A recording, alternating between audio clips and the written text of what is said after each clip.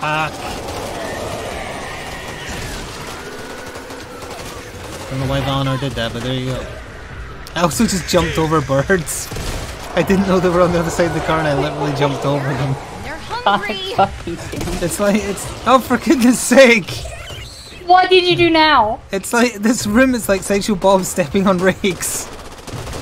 I can't, no! I can't do this room. Hey, Can you stop? Can you stop? I'll just, I'll just look at the wall, okay? I'll look at the floor. And you let me know when all the enemies are dead.